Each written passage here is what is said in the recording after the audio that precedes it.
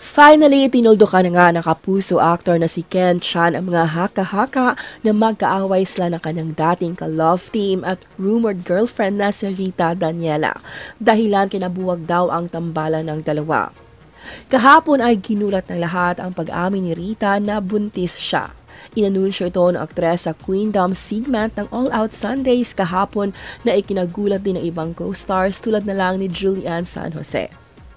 Maluhaluhang payag ni Rita, I am so, so happy and proud to say that I'm soon to be a mother. Happy Mother's Day to me. Wala naman po akong planong ilihim ito. I just naghanap lang po ako ng tamang oras para sabihin and to share the new blessing in my life. Ibinahagi naman ito ang larawan ng ultrasound na kanyang baby sa kanyang IG. Caption ng aktres, You came just in time. You are God's greatest gift to me. You give me hope to make more dreams come true. I shall do anything and everything that's best for you. Always. Dahil dito ay maraming nag-abang sa magiging reaksyon ng kanyang dating ka-love team at rumored boyfriend na si Ken Chan, lalo na't matagal nang hinihinalang hindi naging maganda ang hiwalayan nila. Nagsimula ang kanilang closeness sa pinagsamahan nilang hit primetime serye na may special tatay sa GMA kung saan talagang pumatok ang kanilang tambalan na tinawag ng mga fans na Rit Ken.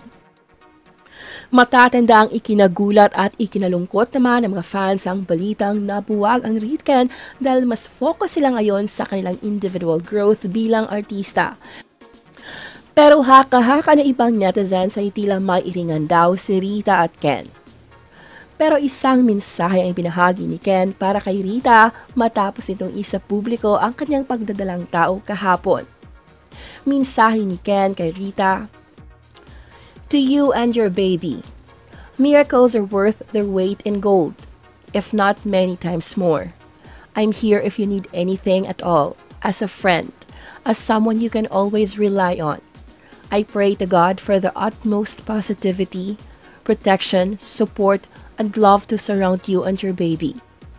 As a friend, as someone who cares, I'll always be here for you no matter what. You've always been incredible and strong, and certainly you. You've got this, and without a doubt, you will only continue on to be that much more incredible, always. I'm so proud of you, Rita Daniela.